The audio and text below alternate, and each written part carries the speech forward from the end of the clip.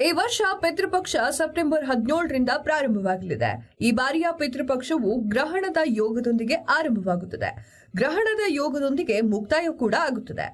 ವಾಸ್ತವವಾಗಿ ಚಂದ್ರನು ರಾಹು ಜೊತೆಯಲ್ಲಿ ಗುರುವಿನ ರಾಶಿ ಚಕ್ರದ ಮೀನದಲ್ಲಿ ಸಂಚರಿಸ್ತಾ ಇರ್ತಾನೆ. ಇದರಿಂದಾಗಿ ಗ್ರಹಣದ ಯೋಗವು ರೂಪುಗೊಳ್ಳುತ್ತದೆ. ಪಿತೃಪಕ್ಷದಲ್ಲಿ ಗ್ರಹಣ ಯೋಗದ ಜೊತೆಗೆ ಹಲವು ರಾಶಿಗಳಿಗೆ ಶುಭ ಯೋಗ ಕೂಡ ರೂಪುಗೊಳ್ಳುತ್ತದೆ.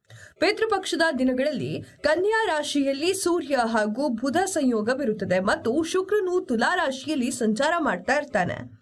ಪಿತೃಪಕ್ಷದ ಮೊದಲ ದಿನದಂದು ಚಂದ್ರಗ್ರಹಣ ಬಂದಿದೆ.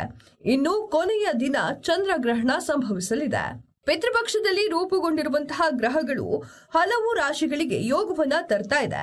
ಈ ಪಿತೃಪಕ್ಷದಲ್ಲಿ ಯಾವ ರಾಶಿಗಳಿಗೆ ಏನೆಲ್ಲ ಲಾಭವಿದೆ ಅಂತ ನೋಡೋಣ ಬನ್ನಿ. ಕನ್ಯಾ ರಾಶಿ. ಹೌದು, ಪಿತೃಪಕ್ಷದ ಸಂದರ್ಭದಲ್ಲಿ ಈ ರಾಶಿಯವರಿಗೆ ಚಂದ್ರ ಒತ್ತಡ ಕಡಿಮೆ ಆಗುತ್ತದೆ ಅಂತ ತೋರುತ್ತಾ ಇದೆ. ಮತ್ತು ನಿಮ್ಮ ಜೀವನದಲ್ಲಿ ನೀವು ಸುಧಾರಣೆಯನ್ನು ಕೂಡ ಕಾಣ್ತೀರಿ.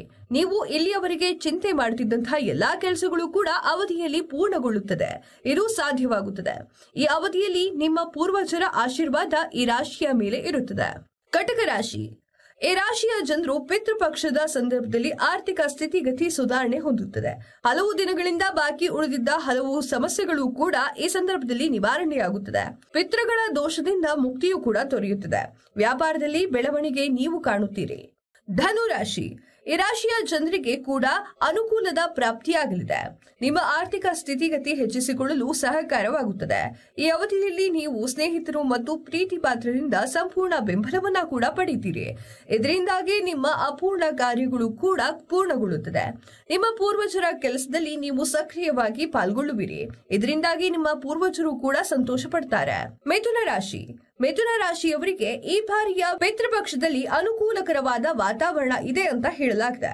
ಪಿತೃಪಕ್ಷದ ಸಮಯದಲ್ಲಿ ನೀವು ಮಾಡುವ ಕೆಲಸಗಳು ನಿಮ್ಮ ಕೈ ಹಿಡಿಯುತ್ತವೆ ನೀವು ಯಾವುದೇ ಸಂಸ್ಥೆ ಅಥವಾ ವ್ಯಕ್ತಿಯಿಂದ ಸಾಲ ಪಡೆಯಬೇಕು ಅಂತ ಅನ್ಕೊಂಡಿದ್ರೆ ಅದು ಕೂಡ ಅವಧಿಯಲ್ಲಿ ಪೂರ್ಣಗೊಳ್ಳುತ್ತದೆ.